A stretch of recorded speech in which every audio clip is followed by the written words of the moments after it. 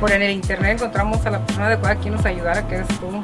Y en especial que busquen a Ernesto, es una muy buena persona y sí, nos atendió como, como dicen por ahí, como se merece uno y con respeto y muy, muy buena persona y muy, muy buen trabajador.